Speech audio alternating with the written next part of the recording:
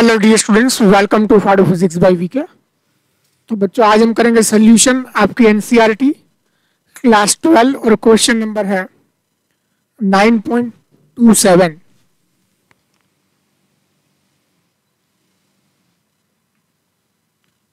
question number nine point two seven तो आइए बात करते हैं question number nine point two seven क्या कहना चाहता है?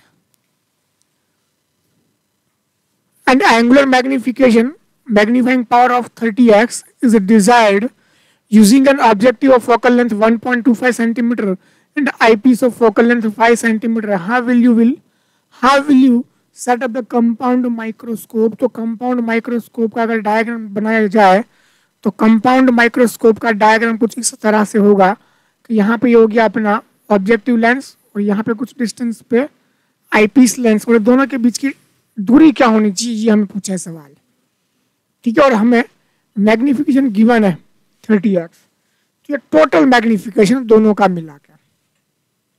ठीक है तो टोटल मैग्निफिकेशन क्या होता है? M is equal to M O into M E ठीक है, ये थर्टी हमें गिवन है। ठीक है, और M O into M E हो गया ये। यहाँ से अगर हम देखो ऑब्जेक्टिव लेंस का अगर हम देखें तो यहाँ पे यहाँ पे जो है ना ये हो जाएगा थर्टी डिवाइड बाई एम अब एम का मैग्निफिकेशन हमें होना चाहिए हमारे पास। तो डेटा जो हमें गिवन है, उसके ऊपर से हमें एम मिल जाएगा। ठीक है? तो यहाँ पे देखोगे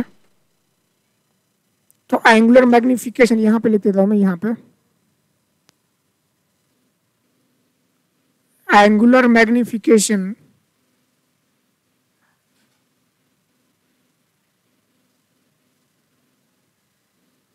of eyepiece lens.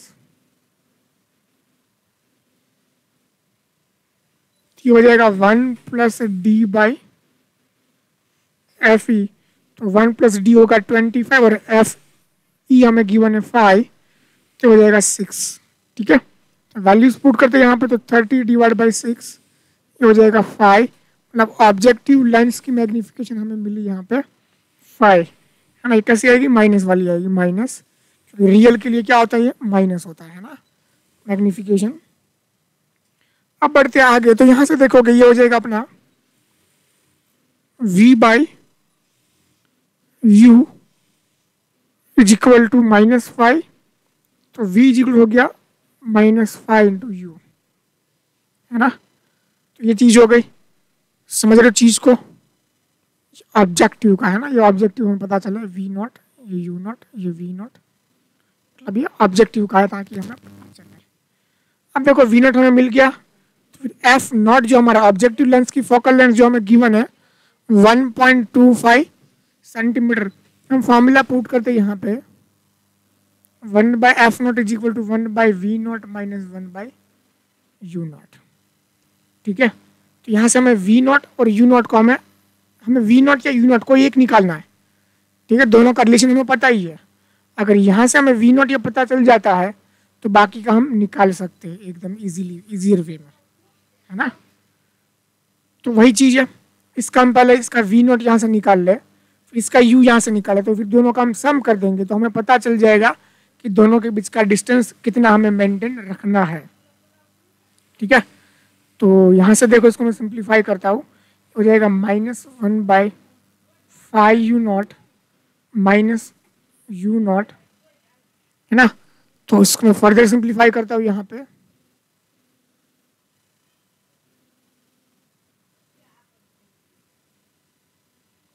तो देखो यहाँ पे मैं इसको सिंप्लीफाई करता हूँ। One by F nought is equal to six divide by five U nought तो five U nought is equal to minus six F nought तो ये आपका हो जाएगा U nought is equal to minus 7.5 divided by 5 is equal to minus 1.5 centimetre तो यहाँ से आपका यू नोट कितना हो जाएगा?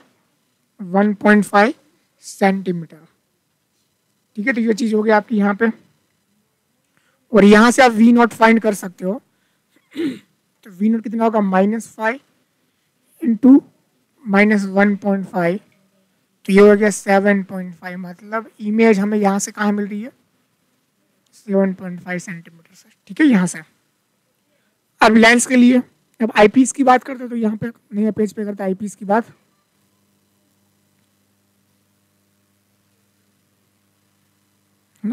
तो मैं स्लाइड यहाँ पे। चलो आई पीस लेंस की बात कर लेते हैं। For I piece lens